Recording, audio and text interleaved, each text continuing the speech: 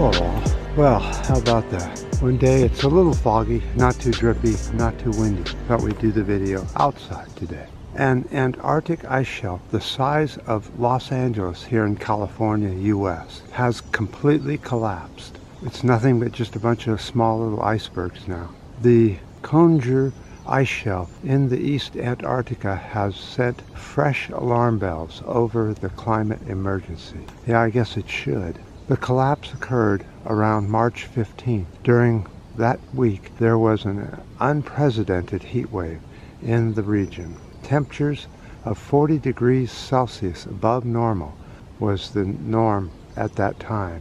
This shift in the ice will push planetary conditions into a new state. Let's look at the Antarctic temperatures as of 325-22.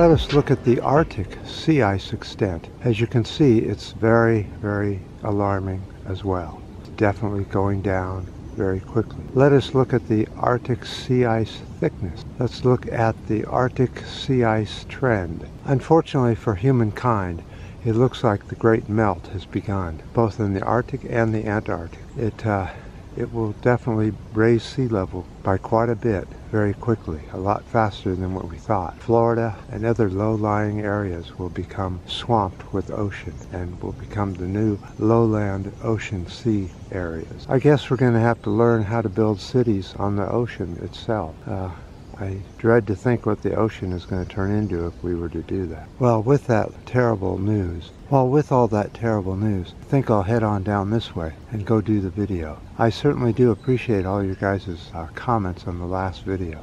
One of them was, was talking about plastic pollution.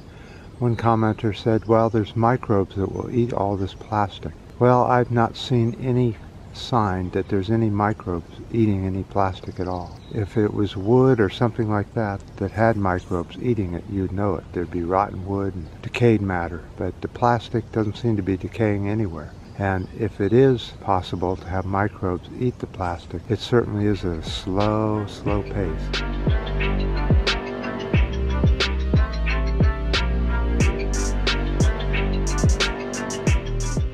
Don't think we should uh, rely on microbes to take care of our plastic problem. And if we were to release some sort of microbes like that on the environment, what else would these microbes do to the environment? It's often people say, oh, all you have to do is release something, it will take care of itself. Not necessarily, not necessarily. Let's hope that uh, somehow we discover some way to get the plastic manufacturers to clean up their mess. But I sort of doubt that'll happen either because in this country, the U.S. and other countries, the corporations rule what goes on and what doesn't. And right now, the corporations aren't about to stop manufacturing plastic. It has to be up to us to not use it or throw it away. I appreciate your up, your downs, your new subscribers, and definitely your comments. And until next time.